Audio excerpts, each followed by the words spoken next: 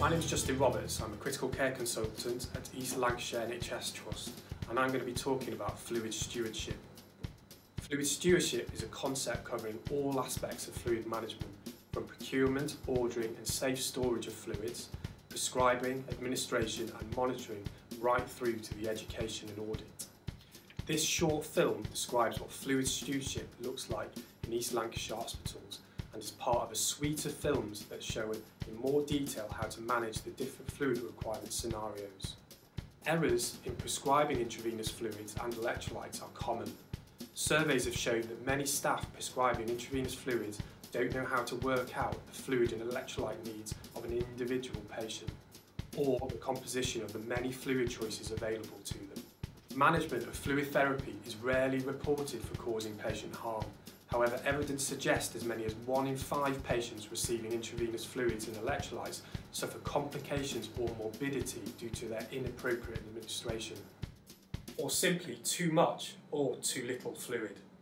Many accepted practices of intravenous fluid prescribing were developed for historical reasons rather than through trials or an evidence base. So you might hear people talk about two bags of salt to one bag of sugar, or that two bags of sugar to one of salt? That's why NICE produced Clinical Guidance 174 to share best practice and to demystify fluid management. The aim of the NICE guidance is to help clinicians understand, for the majority of adult patient scenarios, the physiological principles that underpin fluid prescribing, the pathophysiological changes that affect fluid balance in disease states, the indications for intravenous fluid therapy, the reasons for the choice of the various fluids available, and the principles of assessing fluid balance. We've created separate films to help you choose and prescribe the right fluid for the five R's resuscitation, routine maintenance, replacement and redistribution, and reassessment. Before you view these, I want to tell you a little bit more about the elements of fluid stewardship, all aimed at supporting you to provide safe, effective care for patients. We have introduced the Blippit Meds mobile app to help choose the right fluid and volume for the given indication. Our prescription chart has evolved over time and will change again in the future. This is to help prescribers to prescribe the right fluids and for nurses to administer them safely. Ward stock lists have been introduced so only the fluids expected to be used by a particular ward specialty are stocked.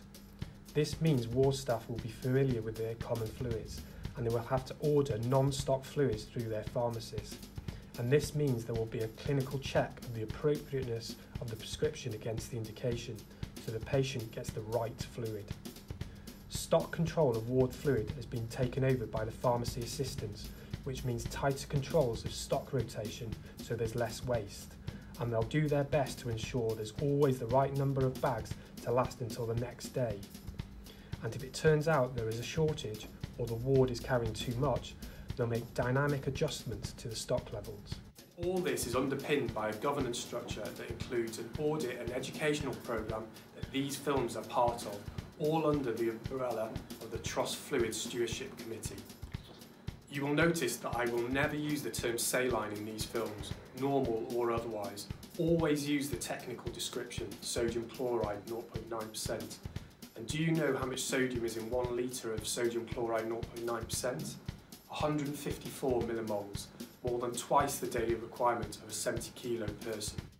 There really is nothing normal about normal saline. Likewise, say and prescribe glucose, not dextrose. All fluid bags are labelled with these terms, so use them to avoid confusion. Fluid mismanagement can result in harm to patients, and should be considered a critical incident to be reported through the DATIX as an IR1. We need to know about these incidents so we can change our educational programmes to prevent any future recurrence. Fluid stewardship matters. These are opportunities to get it right or get it wrong. NICE guidance has only been around since 2013 and there are still many working practices and beliefs that precede it. Use the knowledge you have gained and feel confident to challenge prescriptions that do not match these regimens. Thank you for watching and check out the rest of the suite of films and be good fluid stewards.